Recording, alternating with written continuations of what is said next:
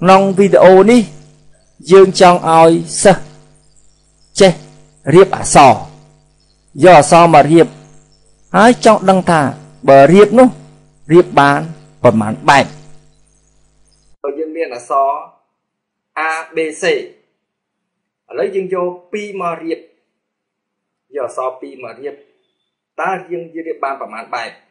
បើយើងរៀបអញ្ចឹងគឺបាន AB នេះបានមួយបែប បើយើងយក A មកខាងនេះវិញគឺយើងបានមួយបែបទៀតគឺ BA អញ្ចឹងអក្សរក្នុងចំណោមអក្សរ AB នេះយើងរៀបបានពីរបែបគឺ AB និង BA ឥឡូវខ្ញុំយកអក្សរ AC ម្ដងបើខ្ញុំយក AC មករៀបខ្ញុំបាន AC ខ្ញុំអាចបានមួយបែបទៀតគឺខ្ញុំគ្រាន់តែដូរទីតាំងមកខ្ញុំបាន CA អញ្ចឹងខ្ញុំឃើញថាវាមានពីររបៀបឥឡូវខ្ញុំយកអក្សរ BC មករៀបម្ដងបើខ្ញុំយក BC មករៀបខ្ញុំបាន BC ហើយបើខ្ញុំបដូរទីតាំង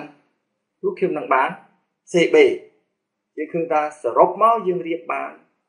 6របៀបក្នុងចំណោមអក្សរ3ហើយយើងយក2មករៀបគឺយើងរៀបបាន6របៀបដើម្បីជាឧទាហរណ៍នេះ គ្រូយកអក្សរ3 គ្រូយកអក្សរ3 A B C គ្រូយកអក្សរ3 A B C ហើយបើយើងរៀបម្ដង2យើងយកអក្សរម្ដង2យកមករៀបតើយើងរៀបបានប្រមាណបែបតើយើងរៀបបានប្រមាណបែបឥឡូវឥឡូវគ្រូក្នុងការរៀបនេះ យើងអាចមានពីររបៀបគឺរបៀបទី1គឺ យើងមិនគិតលំដាប់ទេក្នុងការរៀបអត់គិតលំដាប់ទេអញ្ចឹងក្នុងការរៀបមិនគិតលំដាប់នេះយើងអាចថាមាន AB បើយក2មករៀបយើងបាន AB យក AB យើងសរសេរសរសេរ AB សរសេរ AB ព្រោះយើងអត់គិតលំដាប់អញ្ចឹង AB និង BA ដូចតែគ្នាអញ្ចឹងយើងហៅថា AB ឥឡូវយើងយកអក្សរ AC ម្ដងបើយក AC យើងបានយើងបាន AC អញ្ចឹង CA AC ដូចគ្នាទេព្រោះយើងអត់គិតលំដាប់ឥឡូវយក BC យក BC យើងបានយើងបាន BC អញ្ចឹងសរុបទៅសរុបទៅយើងមាន3របៀបយើងមាន3របៀបក្នុងការរៀបក្នុងការរៀបមិនគិតលំដាប់ យើងឲ្យឈ្មោះហៅថា យើងឲ្យឈ្មោះហៅថាបន្សំបន្សំ បន្សំ3នេះគឺសង្សំដៅថាក្នុងចំណោម3អក្សរយើងយករៀបម្ដង2អញ្ចឹងយើងរៀបបាន3របៀបអញ្ចឹងបន្សំនេះក្នុងគណិតវិទ្យាក្នុងគណិតវិទ្យាគេប្រើគេប្រើគេប្រើអក្សរគេប្រើអក្សរ C អក្សរ C មកសម្គាល់បន្សំ3នេះសំដៅថាក្នុងចំណោម3អក្សរហើយ2នេះគេរៀបម្ដង2ហើយ3នេះសម្គាល់ថាគេរៀបបាន3របៀបនឹងគេហៅថាបន្សំ ឥឡូវនេះយើងមើលថាបើយើងគិតលំដាប់បើយើងគិតលំដាប់តើមានប្រមាណរបៀបបើយើងគិតលំដាប់អញ្ចឹងបើយើងគិតលំដាប់យើងរៀប AB AB ដល់យើងបញ្ច្រាស់មកវិញគឺ BA គឺយើងមានពីររបៀបអញ្ចឹងបើបើយើងគិតលំដាប់យើងមានពីររបៀប AB និង BA AC នេះ AC នេះ បើយក AC មកក៏យើងមានពីររបៀបដែរគឺ AC និង CA គឺមានពីររបៀបទៀតដែរបើយក BC យកមកបើយក BC មកក៏យើងមានពីររបៀបដែរគឺ BC និង CA អញ្ចឹងយើងមើលភាពខុសគ្នានៃការរៀបមួយគិតលំដាប់មួយមួយមិនគិតលំដាប់មួយគិតលំដាប់ មិនគិតលំដាប់គឺ AB បើគិតលំដាប់យើងមាន2របៀបគឺ AB BA អញ្ចឹងយើងឃើញថាមិនគិតលំដាប់មានរបៀបតិចគិតលំដាប់មានរបៀបច្រើនសរុបទៅវាមាន6របៀបការដែលយើងរៀបគិតលំដាប់នេះ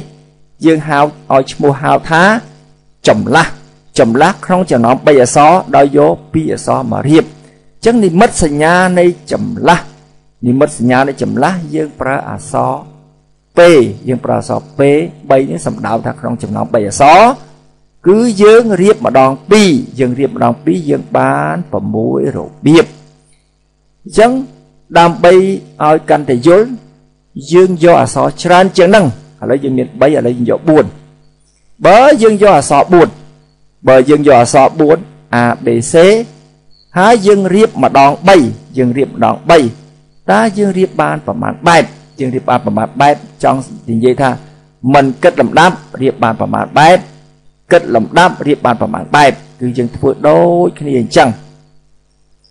ឥឡូវបើយើងមិនគិតលំដាប់បើយើងមិនគិតលំដាប់គឺយើងមាន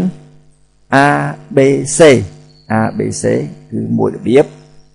A B C ឥឡូវយើងយក A B D យើងមានមួយរបៀបទៀត A B D បើយក B C D យើងបានមួយរបៀបទៀត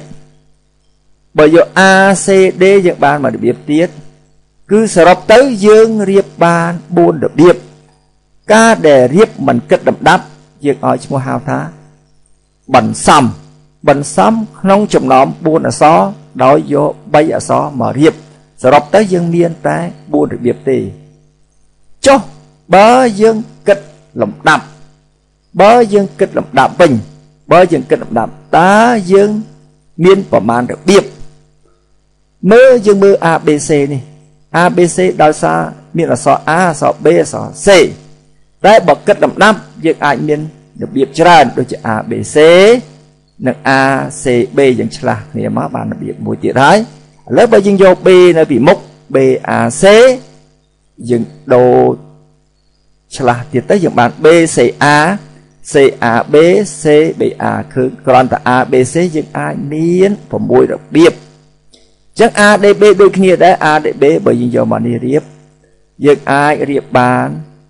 6របៀបទៀតគ្រូមិនបាច់សេទេគឺថាយើងរៀបបាន6របៀបទៀតបើយើងយក BCD យក BCD យើងអាចរៀបបាន6របៀបទៀត